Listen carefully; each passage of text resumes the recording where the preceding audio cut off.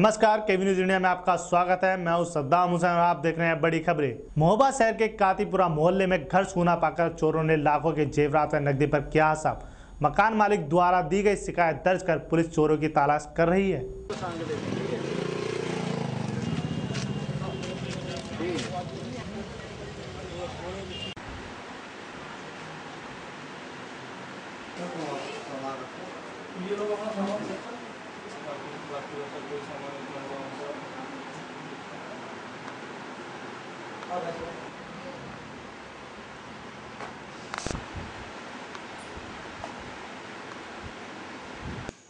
Thirty है बहुत क्या है लगभग आठ दस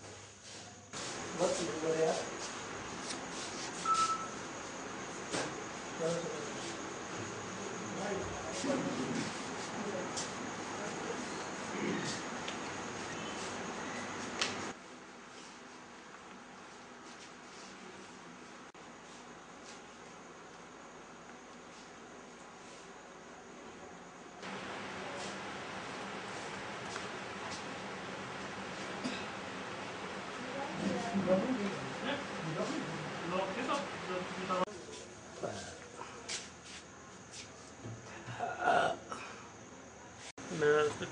छब्बीस तारीख को शादी में गया था।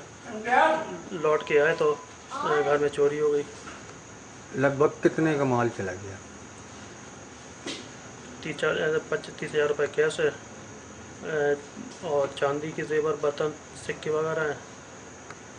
सो तो कुछ थोड़ा बहुत सोने का भी जेवर है। लगभग कितना जो है अंदाज? दो तीन तोला सो- सोने का है। और करीब पच्चीस तीस तोला सान- चांदी होगी लगभग जो है कितना नुकसान हो गया होगा? लगभग दो तीन लाख रुपए नुकसान है। ग्वालियर के चिनौर तहसील के अंतर्गत उर्वा सोसाइटी के कर्मचारी कालीचरण गौतम ने किसानों के फर्जी हस्ताक्षर कर किया करोड़ों रुपए का घोटाला। किसानों में हलचल तब मची जब उर्वा सोसाइटी के नोटिस उनके हाथों में थमा दिया। किसानों ने डीएम से लगाई न्याय की गुहार।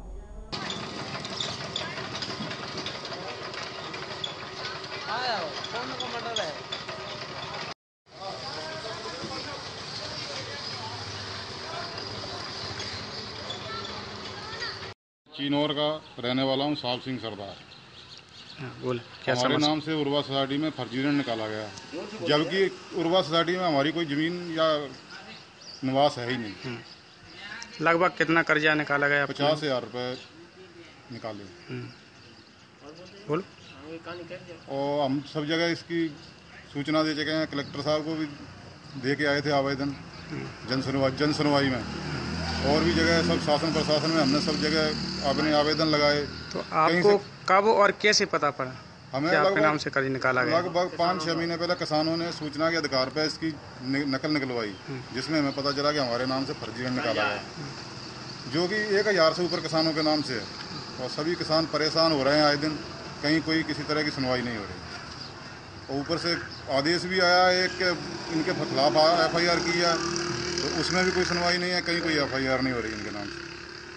तो अभी तक आपकी मतलब शासन से लेकर प्रशासन तक शिकायत की है हाँ जी। तो आपने उनको भरोसा मतलब प्रशासन दिलाया कि कार्रवाई की जाएगी? नहीं कहीं भरोसा तो यही है कि जहाँ जाते हैं वहाँ से भरोसा दिलाते हैं लेकिन कार्रवाई कोई नहीं करता। कार्रवाई कुछ नहीं हुई हाँ जबकि किसान तो दो साल से फ़सल की आपदा के मारे परेशान है और ये फर्जी ऋण के मारे तो किसान आत्महत्या की स्थिति पे चला जाएगा। ठीक है। अब आपकी पीड़ा कौन सुनने को तैयार है? अभी किसने उठाई आपकी आवाज़? हमारी पीड़ा अभी तक कल हमने पूर्व विधायक विजयंत तिवारी को बुलाया था। उनने ये आश्वासन दिया कि अपन कलेक्टर से मिलकर इसकी आवाज़ उठाते हैं। अगर कलेक्टर सुनवाई नहीं करते तो ऊपर तक ऊपर तक कार्रवाई करेंगे विधानसभा लोकसभा तक। मथुरा प्रसाद आदिवासी ग्राम पंचायत चिनौर का रहने वाला हूँ मैं। आप किसान हो? कौन? जी किसान है।